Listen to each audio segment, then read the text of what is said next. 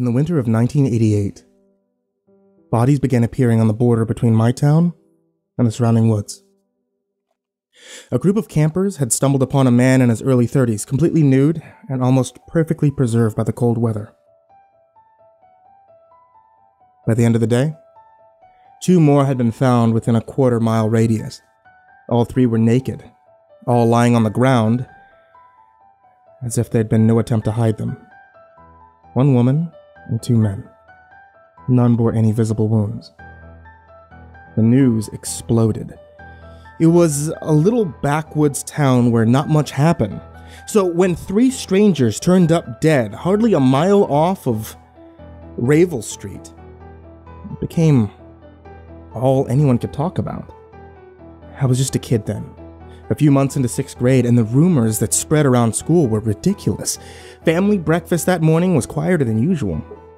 Mom was horrified, poring over the newspaper as she wondered aloud if it was safe to send my eight year old sister and me to school by ourselves. Jesus, she said, gesturing to the paper. Look at this, Michael. They put their photos in. That's just not decent. Dad glanced over. I bet you it's drugs. Whole fuss is for nothing. Can I see? I asked, reaching out to take the paper from my mom. She pursed her lips. Fine, but don't show Maddie. I grabbed it and looked it over. Three grainy pictures of nondescript faces. It's kind of disappointing, though I didn't dare say that out loud. While mom was washing the dishes, I let my sister have a peek. Maddie stuck her tongue out and she looked them over. This one looks like William, she giggled, pointing at the leftmost photo a man with dark hair and a rasp of stubble. He's a boy in my class. He was so innocently morbid that I couldn't help but laugh. I got up to help mom with the dishes, though, even as I occupied myself with chores. I couldn't help but linger on the strange deaths. My dad insisted there was a logical explanation for it all. Three young people, drunk and stumbling lost in the woods, in a below zero night. Well, he said, you can imagine what happens next. In the following week, he was proven wrong. The autopsy was published. No trace of drugs, medicinal or otherwise, in their blood. No alcohol either. The cause of death couldn't be ascertained. There had been no physical trauma, no blood loss, no pre existing medical conditions. The article in the newspaper declared it most certainly resembled death by shock, a sudden massive rush of adrenaline essentially stunning the heart into inaction. That only seemed to open up more questions. One person might have been explainable, but three? What's enough to shock three people like that? A chunk of the woods has already been put under police patrol when a new body turned up, nude yet unharmed like the others. It had been snowing pretty heavily that winter, blanketing the woods in a thick white layer, and at night, I'd lay awake and think of how awful it was to die like that. Freezing and alone with only the shadows of trees stretching out over you. Before the week was over, there was a fifth body, sprawled in almost the exact same spot. Somehow, Nobody had seen where it come from. One police officer interviewed by the press said that he'd been passing through the area just minutes prior, and in the time that he was gone, it was like it just blinked into existence. A fresh wave of rumors emerged at school, though now they were less nervously excited, more tinged with fear. Though the evidence was frustratingly non existent, the unspoken consensus was that they had to be murders. When a sixth body popped up, a 10 p.m. curfew was imposed on adults and children alike. If I remember correctly, that was around the time the FBI caught wind of the case. The whole stretch of forest had already been cordoned off by the police tape, the perimeter consistently surveyed by a flock of solemn looking officers who made sure no one got in or out. I used to play in that forest all the time with my friends. Seeing it suddenly made into the sight of six bloodless deaths Surreal, say the least. That was what the media started calling it the bloodless murders. Sometimes the bodies came in pairs, sometimes alone. By the 10th or 11th, there was a definite pattern. While they varied in ethnicity and sex, they were all relatively young 20s to 40s, and all found nude. Some even looked as if they'd had clothes on minutes before with the indention of a watch or wristband still etched into the skin at the time of discovery. Have you ever been in a room where everyone's holding their breath? Every person just waiting for the ball to drop. Silence so bad that you could almost drown in it. Now imagine a whole town. You want to know the strangest part about all this? Weeks dragged on, and none of the bodies were ever identified. Their fingerprints were intact, but there was no known matches. DNA tests came back empty. A public campaign to find the identities of the bloodless victims turned up nothing. It was like these people had emerged from nowhere. Deprived of their names and backstories, the victims were unmourned, blurred into one murky entity. Shit really hit the fan about a month into the case. Some up and coming journalist, a guy by the name of Walton, I think, claimed to have uncovered the truth behind it all, and wrote a tell all article divulging the details that hadn't been released by police or the FBI. Apparently, the bloodless murders weren't so bloodless after all. It was true that most of them were found untouched, but four of the dead practically had bites taken out of them. Whole sections of their bodies were just gone. One guy was missing almost half his right side, and one of the women was, short an arm. Bites. Might be a little misleading, although the missing pieces had been removed cleanly, almost too cleanly. In Walton's words, they looked as if they'd been scooped out or simply magicked away. Walton claimed that he had the records to prove the area was under even more intense surveillance than most would have guessed. Besides hundreds of cameras that had been covertly installed in trees, rocks throughout the forest, and such, there was also loads of temperature data loggers and state of the art recording equipment, along with a whole host of other devices that couldn't even wrap my head around. Stuff that measured radiation, minute changes, and compositions of the air. If he was right, must have cost a ton. Supposedly, the data showed climatological deviations. Basically, weird spikes and dips in temperature and corresponding to the times that the bodies were found.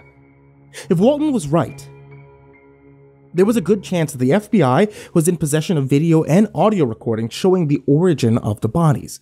It sounded like a crazy conspiracy, even though Walton hadn't been able to come up with a solid theory for the reason behind the cover ups. That was the part that drove me crazy. I must have reread that article a hundred times. What happened next was total lockdown. The newspaper was pulled from publications in the blink of an eye. Walton publicly apologized for having made fabricated claims and trying to make a spectacle out of the deaths. Not much was heard from him after that. The case was under the full jurisdiction of the FBI. According to my parents and uh, local police were all but shut out of it. I don't know what happened exactly, but suddenly, the media coverage dropped to zero. At school, the teachers gave a talk about it. How we were all safe and there was to be no further spreading of rumors. I remember thinking about the weirdness of the whole day. While Mr. Russell was going on and on about the importance of following the curfew, there had been a team of adults who quietly escorted kid after kid out of the room, ushering each one back in about 10 minutes later. One of them was my friend Sophia. After the assembly, I quizzed her about what had happened over lunch. Stale pizza. It was really weird, she said, picking half heartedly at her food. You took a sample of my spit? Some of my hair and nails, too. You think they're checking for disease? I didn't know how to answer her. The whole thing left a sour taste in my mouth, and I felt helpless and scared. Parents must have must have been encouraged not to talk about it either, because whenever I brought it up to my mom and dad after the whole Walton fiasco had gone down, they shut me down fast.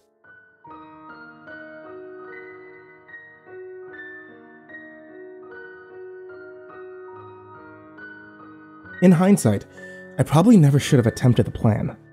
On a Friday night, I snuck out after curfew, armed with only a handful of granola bars and a flashlight. I biked down the woods. It didn't take long. It was one of those childhood routes that you know by heart. I wasn't even sure about what I was hoping to find. Chalk it up to the mix of curiosity and senselessness. There were patrols standing around, but I managed to make my way to the dense copse of trees and snuck in from there feeling my heart racing a hundred miles an hour as I, as I ducked under the yellow police tape. The sheer stupidity of my idea hadn't quite settled in yet. If what Walton had written about the surveillance had been true, there wasn't a chance in hell that I wasn't going to get spotted, but being a kid and all, I hoped. I hoped I'd get off with a slap on the wrist. I turned my flashlight on in the dimmest setting and began my trek, praying that I knew the path through the woods as well as I thought Time passed differently that night. Maybe I was walking around for 30 minutes, maybe it was three hours. The sky was inky black. And in the darkness, the trees distorted themselves into more and more monstrous forms with each step that I took. All I know is when I stumbled across the body, the world came to a shuddering halt. Under the cone of artificial light, the body looked fresh, the skin still pink. I remember thinking if I touched him, he might have still been warm. His eyes were wide open, glassy as a river, face set in an expression of determination. There was a there was a tattoo on his bare chest, a sentence written in a shaky scrawl. It comes on July 11th, 2036.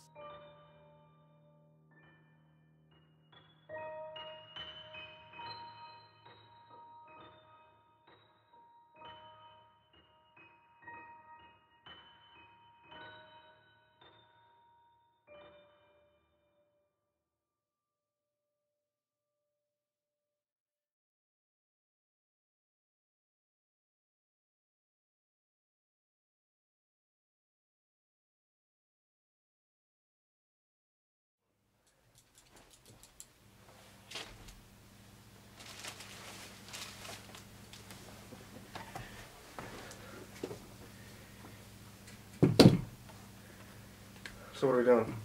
Okay. Uh, you want to just wing it? You're a country. have always turned out great. You're a country star. I'm a rock star. Okay. Okay.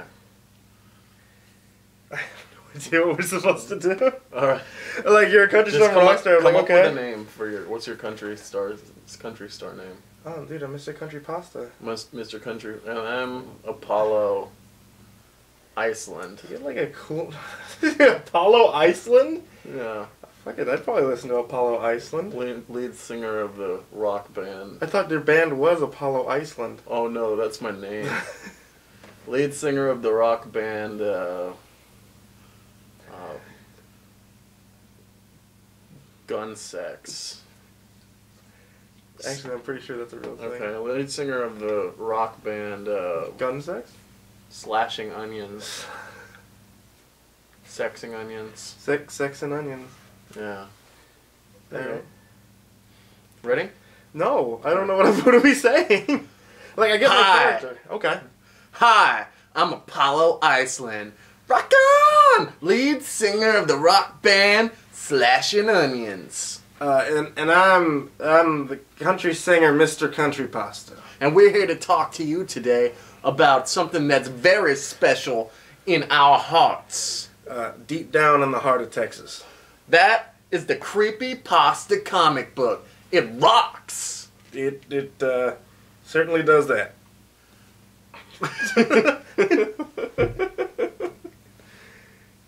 sure. That's like the weirdest fucking promo. When I'm not sexing groupies in the tour bus, I'm reading these incredible pages and admiring. okay, hold on.